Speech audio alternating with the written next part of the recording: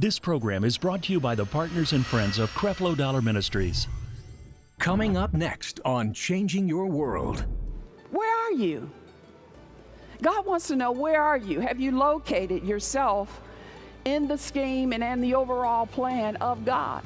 In areas of your life that He wants you to personally take responsibility so that you can evolve and you can develop in, so that you can lovingly express and you can live in truth, dealing truly, living truly, speaking truly, having a life that eliminates truth. Amen? We look in the mirror daily and ask ourselves questions. Am I good enough? Am I smart enough? Will I realize my dreams? We know we're not alone in our quest for answers. And it's time to come together and remember who we are rare, valuable, powerful, capable, more than enough. No more settling for second best. Join us for Worth 2020. Register now at taffydollar.org.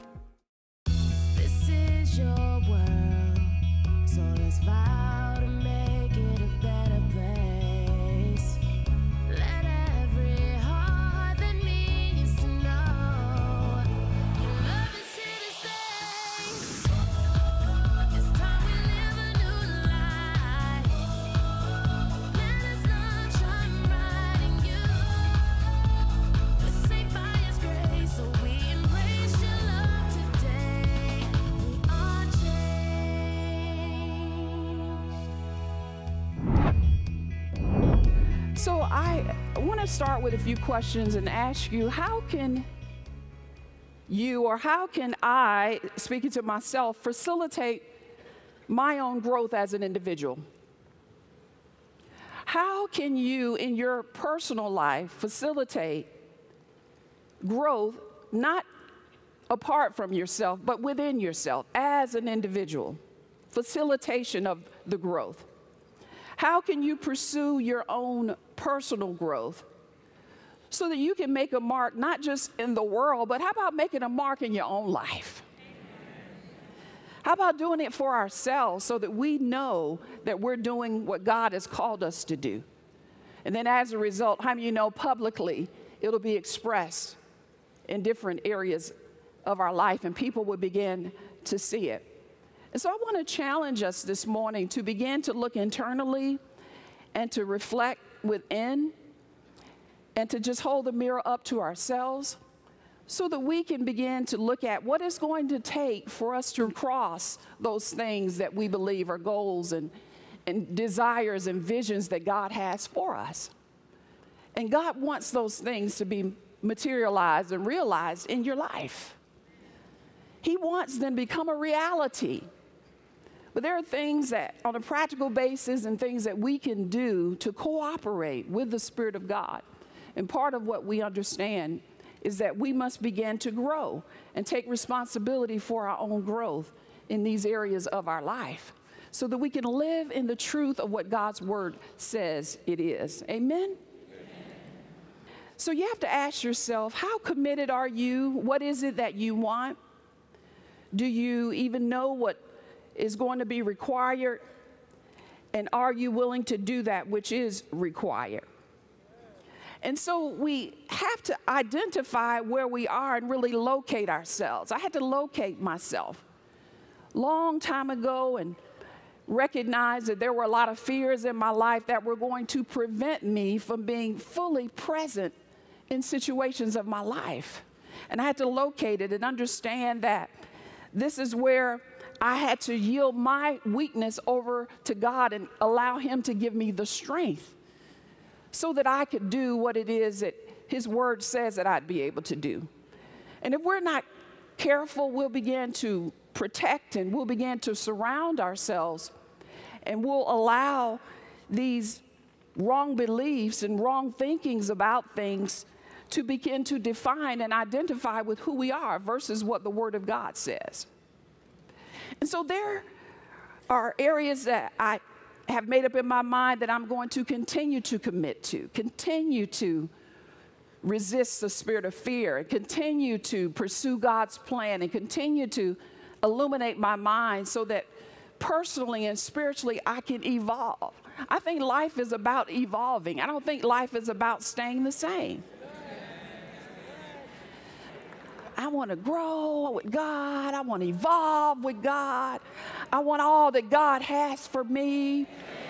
I want to see what God has for me. I want to pursue what God has for me. Whatever I need to do in order for God to do what He needs to do, I'm going to do it. Bless God. My mind needs to change. If my mind ain't right, how many you know sometimes your mind just ain't right?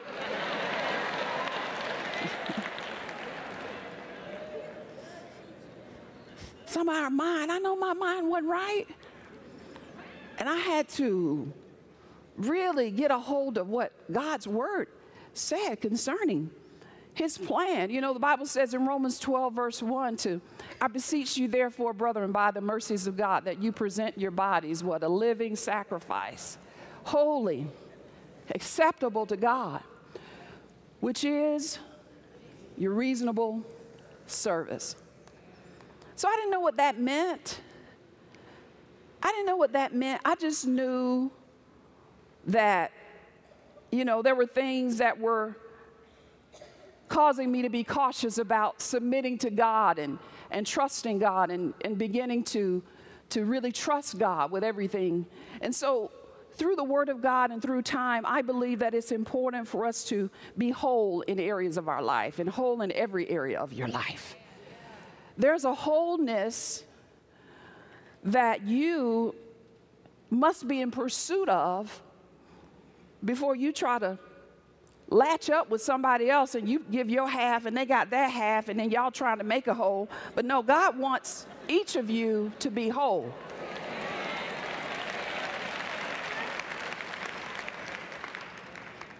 Somebody was telling me the other day, they said, you know, this person, I said, well, they just don't seem happy. You know, what's going on? They just need a man. No, if you don't, if you don't like you what, without the man, honey, I doubt very seriously you're not going to like you with the man.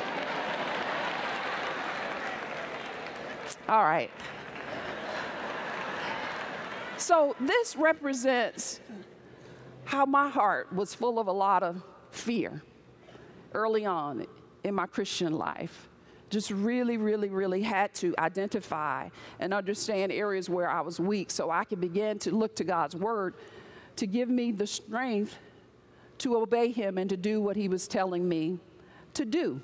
And so sometimes in our life, it takes that. You got to locate where you are. Just like Adam and Eve were asked by God, Where are you? I asked you this morning, Where are you? God wants to know, Where are you? Have you located yourself in the scheme and in the overall plan of God in areas of your life that He wants you to personally take responsibility so that you can evolve and you can develop in, so that you can lovingly express and you can live in truth, dealing truly, living truly, speaking truly, having a life that eliminates truth. Amen? So, um, we're talking about how we can begin to see ourselves separately, uniquely in the plan and in the purpose of God. Every part having its purpose, every part functioning independently according to the design of God, which is overall encompassing the unit and the institution and the corporate functioning of the body of Christ. How many you know the body has who knows how many parts in a physical human body? But you know, each part is very important. And it has to function at its highest potential in order for the overall body to experience the, the, the depth of expression and the, the presence that it is meant to have in the body of Christ. And so it is important that we understand that we are a living sacrifice. Somebody say, I'm a living sacrifice. Living holy and acceptable unto God, which is your reasonable service. Say that with me. Holy, acceptable to God, which is your reasonable service. But it begins by us becoming secure in the assignment and in the part that God has for us. How many know the knee can't fight with the foot and the foot can't fight with the knee? They're both very important, right? There's a security that each part should have in order for the leg to begin to provide the motion that is needed to uh, happen in order to go from one place to the next. And so there's security in God. And once each part of the body becomes whole, each part of the body becomes secure, each part of the body understands the significance that it is to play, then things will begin to happen in this world in which we live. But if the body is broken, the leg is broken, the knee is broken, the foot is broken, then there's an impairment and less likely to reach the designed destination where God has intended. So when we talk about biblical equality, we're not talking about sameness, we're talking about identifying that we are in Christ. And if any man or any woman be in Christ, we're new creatures, a new species, a new uh, species of being. Old things have passed away and all things have become new. So we're in the body. Every part is in the body. And it is designed to function to its fullest potential. And so when we understand this, we can understand some things, even as it relates to uh, things that we have to realize where the things of God are concerned. Stay tuned. We'll be right back with more from Taffy Dollar. This is an awesome experience. We are a team. It's amazing. You've not been called to be ordinary, but extraordinary. Ladies, are you ready to find your worth? Join us at the 2020 Worth Radical Women's Conference, March 19th through the 21st at World Changers Church International and learn just how valuable you are. Once you find out your worth, you will stop giving out discounts. Join Taffy Dollar, Creflo Dollar, Sarah Jakes Roberts, Dee Dee Freeman, and special musical guests Todd Dulaney, Miranda Curtis, and Demita Chandler. Mark my words, this is going to be epic. Join us for three life changing days at the 2020 Radical Women's Conference, March 19th through the 21st. Reserve your seat today at taffydollar.org or text RADICAL to 51555. Now, let's join Taffy Dollar for more of today's message. Now, I want to shift a little bit and talk about the loss of shattered dreams, the loss of shattered dreams. Um, after I got saved as a young Christian girl, this was back in 83, 84, 85, something like that. There was a lot of things that I had to realize that God needed to heal me from. And part of those things, as I mentioned, was believing right and understanding right so that I could live the most fruitful life. But it took that darkness, that all kinds of things, self doubt, insecurities, um, inadequacies, inferiorities, all these things, they had to be healed. And so it took the Word of God coming in on the inside of me. So I just want to share a couple of experiences uh, where you can maybe identify, even in your life, where maybe there are some things that need to be healed and you have to take personal responsibility of growing and evolving and maturing in some areas of your life. Is that okay? Life is a series, as I mentioned, of evolving. And sometimes that involves loss. And loss is an inevitable part, unfortunately. It could be the loss of a loved one, the loss of health, uh, the letting go of a long held dream. A significant loss can be one of the most difficult times in a person's life. Even sometimes when children are born or diagnosed with different disabilities, sometimes for parents, you see the loss of maybe the ideal that you had envisioned for your child and for your family. Loss comes in the form of relationship, of a job, of your home, or even a treasured object. Loss could be in the feeling of safety after a trauma, loss of functioning after an accident or after even a medical crisis, loss of sense of security or self assuredness, self assurance, loss of freedom or independence, loss of property, material goods. All these things have the potential to come in and cause our lives to be stagnant and to really put us in the position where life can no longer evolve, but to all of a sudden stand still. And so, for a few minutes, I want to talk about this because I think so many times in the church we don't know how to deal with loss. And we don't know how to move on in situations in our life. And sometimes we as a church have to be the ones who have the answers because if we don't know, then how can we expect the world to know? When we have the Word and we have the Holy Spirit and we have a, the, the, the, the uh, things on the inside of us that can bring forth comfort in situations. Now, Jesus was acquainted with loss in John 11, verse 35.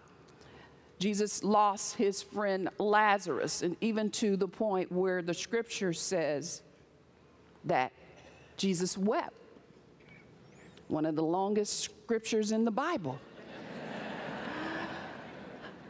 and he was one who was touched with loss and the shattered dream of his personal friend who had died. And so in Mark's gospel, even before it was time for him to go to the cross, and he had this long price and cost that had to be paid, he identified where his will was and his emotion, where his emotions were, and he said, Nevertheless, what? Not my will, but what? Thy will be done. So the scripture says that after he was struggling in the Garden of Gethsemane with his will versus God's will, it says that he prayed and he moved forward. And many times in our life, if we're not careful with loss and with grief, we can't go forward. And we stay stuck in the past of what was, the past tense, instead of knowing how to live in the present tense. So that even as we live in this present tense, that our future tense will be taken care of. How many of you know if you have a loved one who's in Christ, though they were in your past and you have great memories of their past, how many of you know you're going to see them again? They're going to be in your future. And so it's important for us to understand this letting go and uh, dealing with this area because the Apostle Paul, even in Romans 15, verse 24, he talked about how one day he wanted to go to Spain. And it was his greatest dream to go to Spain to carry the gospel there. But you know what? Paul never made it to Spain. He ended up in prison, and then ultimately he lost his life. And you know what? Sometimes that is the story of life. That is the reality of situations sometimes. But we, as believers, have to understand that our hope and our comfort is in Jesus. And our hope and our comfort is in the Word of God. I remember in 1982, I was away in college, and my mom was uh, reaching out to me, and I was in North Carolina going to school there, and she told me that she and my dad were going to separate. And so it just really uh, arrested my heart. I felt so sad. And so I decided to come home, come back to Georgia just to be with her and to go through the transition of the divorce. Well, she ended up calling the divorce off and she just decided to stick in the marriage. Well, as time went on, her health started to fail and a lot of stress to the point where back in 2007, she told me, she said, Taffy, I'm going to file for divorce again. That same year that she filed, she passed and went home to be with the Lord. But I, I say all that to say, as I go to this next picture, is heartbreak just from the grief that is associated many times when we have loss in our life. And this picture is a picture of me and my brothers at my mom's homegoing. And so this is a very difficult time for me, one that I wasn't prepared for, just in looking for things that would eventually take place afterwards. But I knew that I could find hope in the scriptures. I knew I could find comfort in God. I knew that everything that Jesus did on that cross 2,000 years ago, just like He redeemed us from sickness and disease, He has redeemed us from grief and sorrow. Amen. And we have to renew our minds where this is concerned because sometimes we don't apply the word to these areas of our life and we just we just want to which is okay, but at some point you've got to take responsibility for your emotions. You got to take responsibility for these things that you just kind of tuck away and if not, it will deal with you if we don't deal with it. Look over at Isaiah, excuse me, not Isaiah, 1 Thessalonians chapter 4, verse 13. It says, But I will not have you to be ignorant, brethren, concerning them which are asleep, that you sorrow not, even as others which have no hope. And see, that's the key. In Christ, we have hope. Someone say, I have hope. I have hope. You have hope for any situation, any loss, anything that has been experienced in Christ, Scripture says we have hope. And hope is in the future. Our hope is in the position where God wants to fulfill our greatest desires, our biggest hopes, our dreams. He just wants to have something that He can work with for us to begin to move forward like Jesus did. How to pray and to understand that in areas of our weakness, that thank God for the word, that He is strong. Look at verse 14. Verse 14. For if we believe that Jesus died and rose again, even so them also which sleep in Jesus, the scripture says what? Will God bring with him? God will bring with him. Let's look at one more scripture here in Isaiah 51. Isaiah 51, go back there, please. Verse 11 and 12 verse 11 and 12. Therefore, the redeemed of the Lord shall return and come with singing unto Zion.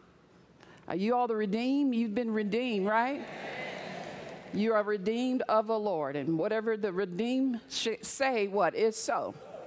So the redeemed of the Lord shall return and come with singing unto Zion, and everlasting joy shall be upon their head they shall obtain gladness and joy and sorrow and mourning, the scripture says, shall flee away. You got to claim that. You got to own it. You got to take responsibility for your redemption. I am the redeemed of the Lord. Redeemed from loss. I'm redeemed from sickness. I'm redeemed from poverty.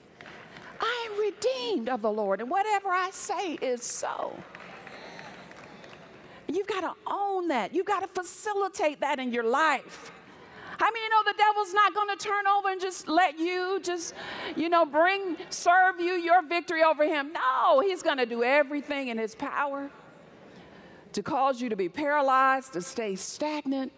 But that's when you have to get on the Word of God and go for, before God and go after everything that belongs to you.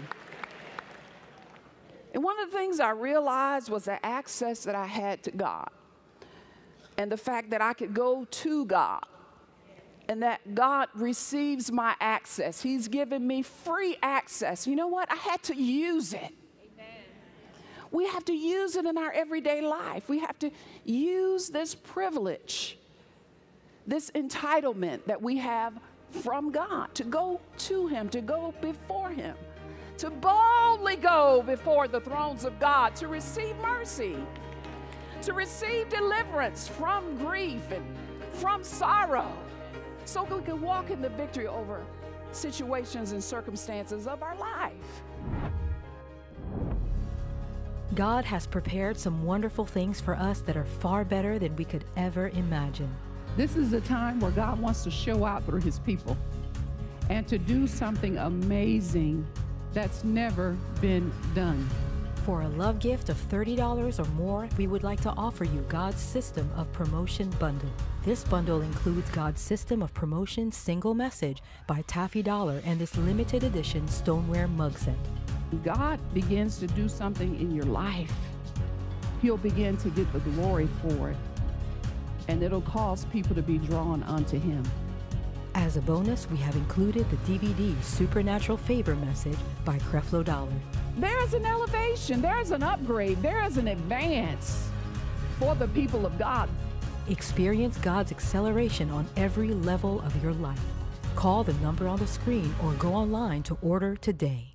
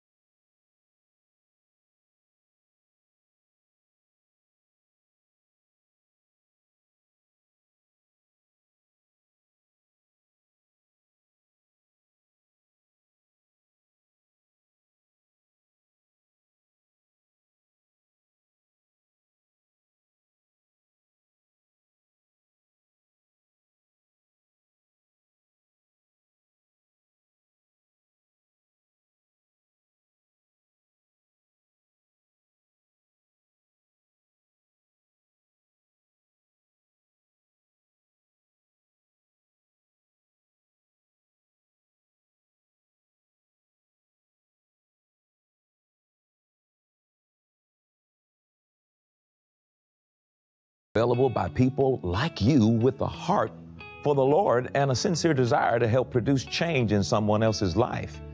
Your financial contributions to Creflo Dollar Ministries enable us to broadcast the message of God's grace all over the world. The testimonies that come in from people who watch these messages daily prove that this broadcast truly does change lives. It wouldn't be possible without people like you who faithfully sow financial seeds into this ministry. And for that, we say thank you and God bless you. When you make financial donations to Creflo Dollar Ministries, those resources are distributed immediately where you requested. If you do not designate your contribution, rest assured it is used for one of our many outreach endeavors. We are eternally grateful for your faithful financial support.